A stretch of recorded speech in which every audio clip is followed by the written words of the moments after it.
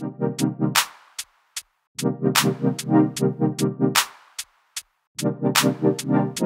you.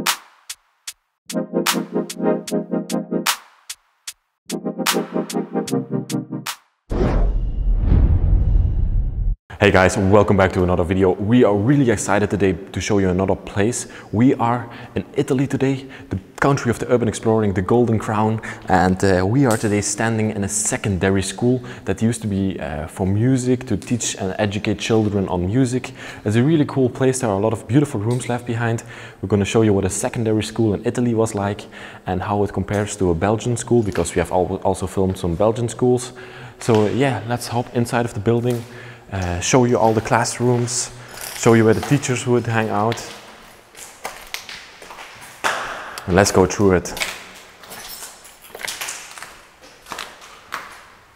Stay away first over here. Whoa, I want to go in here, Jody. This looks like a cave. Look at this. Oh my gosh. Why would they have wine bottles left behind? I don't know. That's crazy. Yeah, inside of a school. Yeah, it, uh, Italy is also known for its wines and everything, but. Yeah, even more there in the back. Yeah, come first have a look over here. This looks like a little cave. Cave. It's, oh. it's like a storage place for wine. No way. But all these bottles are empty, of course. Or is this champagne? No, this is for red wine, to my knowledge. Damn. That's really cool the first thing that we would love to show off inside of the school is, yeah, in Italy, around, yeah, nowadays people are not that religious anymore, but around the 1950s, 1960s, this was one of the most religious countries in the world. Of course, you have the Vatican and everything in Italy. So it's, it's commonplace that these people are very religious. And so for the children inside of the school, they built a private church so they could educate them on religion and on God and Christianity. Uh, to my knowledge, uh, the children, uh, children would come here every day in the morning uh, to do a little prayer before they start their school day. Look at the tinted windows and everything, Johnny. Yeah. It's pretty special. Wow. Even the organ. Oh yeah, the organ here in the back. So they would play a little music, um, little music for the children, Christian music, and then they could pray. Maybe they read a little bit from the Bible. See up there is that the Ark from Noah, Johnny. Yeah. There are no animals on there. Here on the side is even a confession booth. So if the children were bad inside of the classrooms, they had to come here and tell uh, the priest what they did wrong. The door is locked? Yeah, that's kind of locked. Yeah, this one is open. Oh yeah. Oh, here they would sit. There's maybe on their knees over there. Let me try it out a lot of glass in here. But I think that would sit like this and they would tell what they did wrong. wow.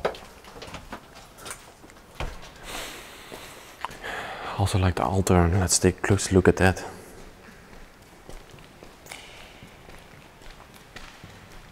It's not the typical altar.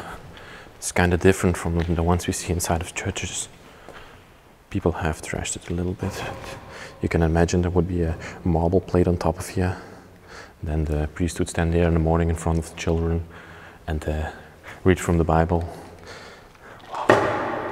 Let's go further into the school and let's see what we can find else. Okay, we just made it to the top floor of the school and we found a pretty sick classroom over here. I was like, whoa, this is incredible. All the school benches left behind. This is where the children would be, get uh, educated. You can see these little holes here on the table, Johnny. I'll let you guess what they are for. They are for the ink. Correct.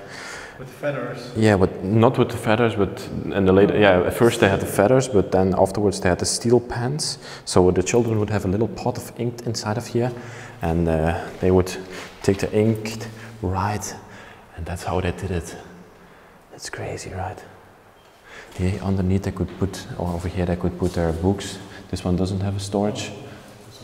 This one has a storage. Yeah. That's so nice. Okay, children, today we are going to learn about math, your favorite subject. it's mine. Let's go further. Oh my gosh, I think this is a boarding school, Jody. You see there in the back there are uh, beds, so the children would stay here all week. They didn't go home. They would be in this school all week long.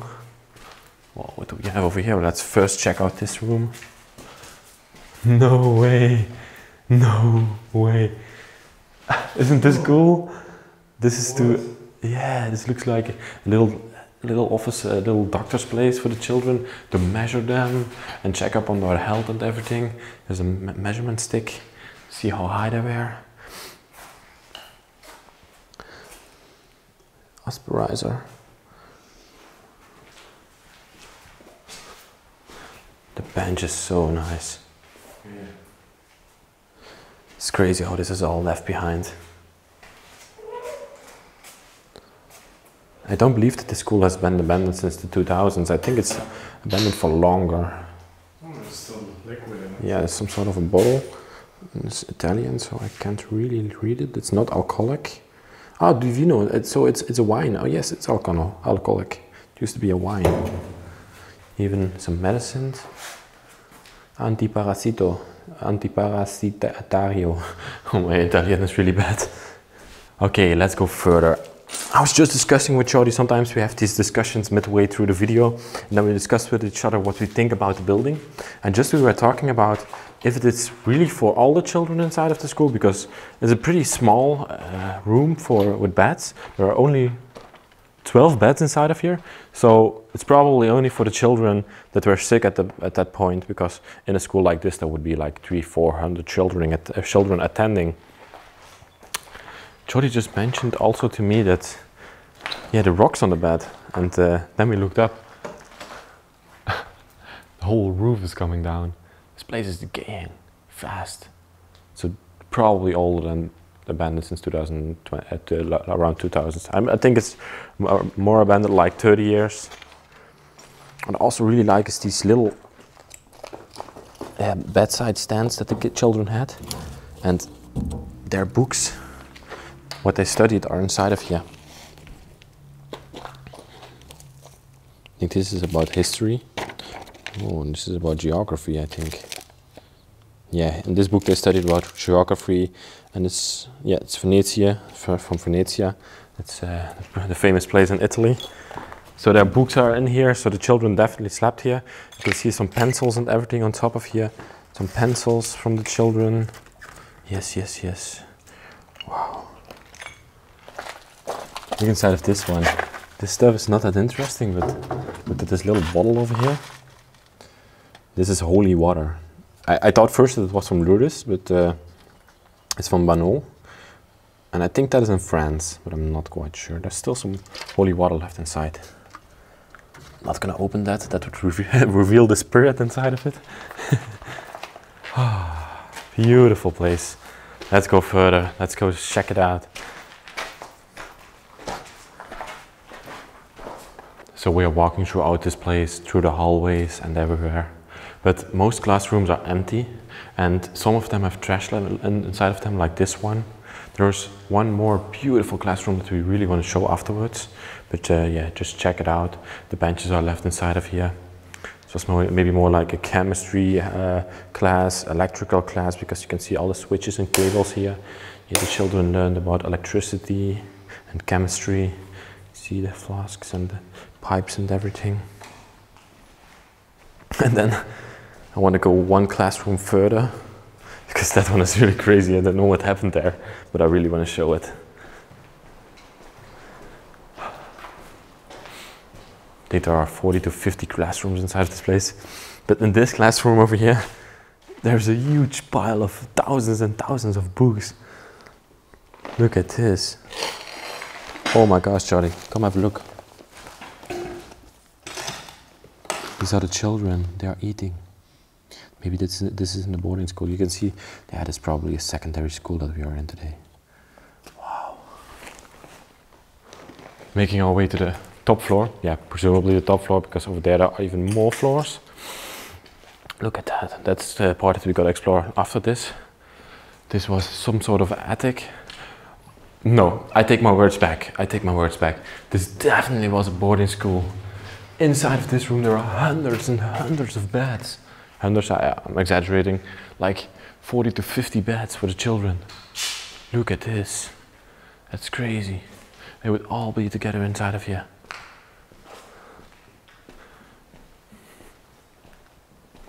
Can go further, Jody. Walk through it, people get a perception of how the children slept here. They don't have a lot of privacy inside of this place. I could not sleep like this. Yeah, if you're used to it, probably I could, but. At the end here, Jody, there's the toilet. Check that. Let's check that out as well. It's the washroom, the showers over there, and the toilets here.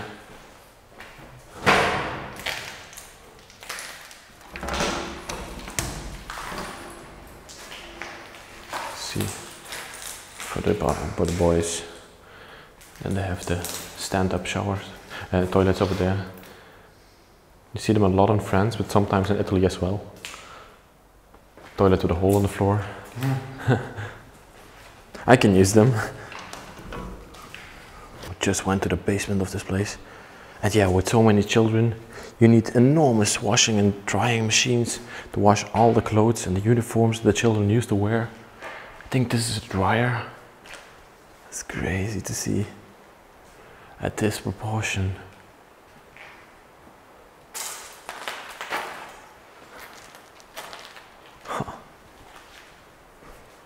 Charlie, let's walk through this hallway because it looks really creepy.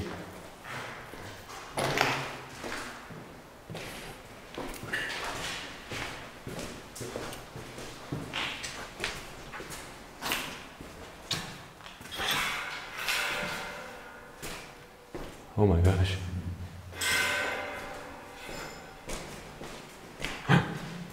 Dead end. But look over here. Here all the clothes were dried. They would be hanged up here. Hundreds and hundreds of uniforms of the children.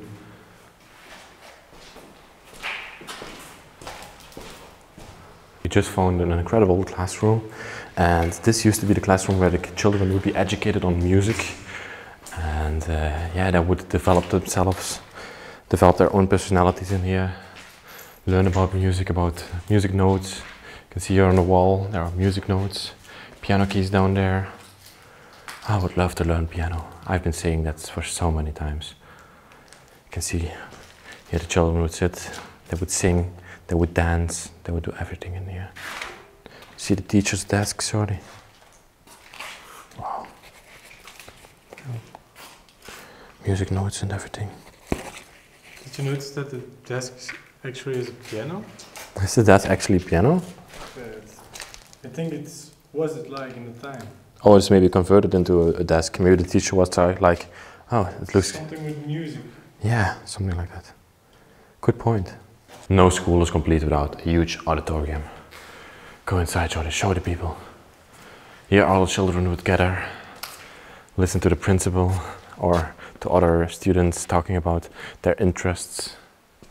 That huge theater up there for plays and everything.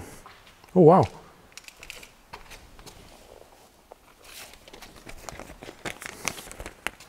Aha, I knew it. On every newspaper there's a date, and this date says 1981. That seems like a reasonable date that the school got abandoned. Don't you think? Yeah, that's reasonable. hmm Like 40 years ago. Cool newspaper from Italian. Illustration Iveco. See some sports, some other things on the back. Yeah, this is the auditorium.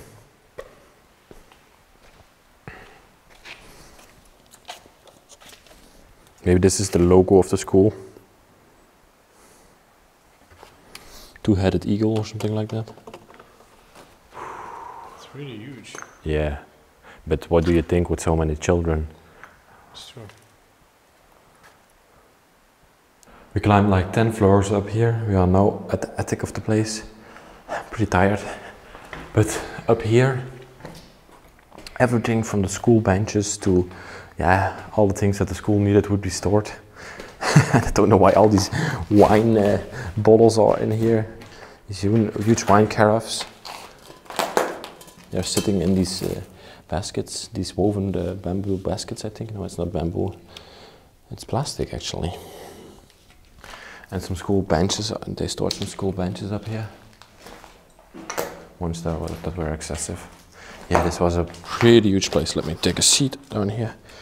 And uh, yes, with that said, I want to thank you so much for watching this week's video. This was pretty cool to explore an Italian school. Gives you a perception of how schools are around the world. And uh, yeah, as always, oh, check out our new shirts, bro. Wow on the front, Bros of Decay on the back. They are down here, available on Teespring. If you buy one, you support us in our mission to explore the whole world and document places that are going to be lost in the future. As always, me and Jody, thank you for watching. Like, subscribe, and comment, and we will see you next week. Bye bye. Love you.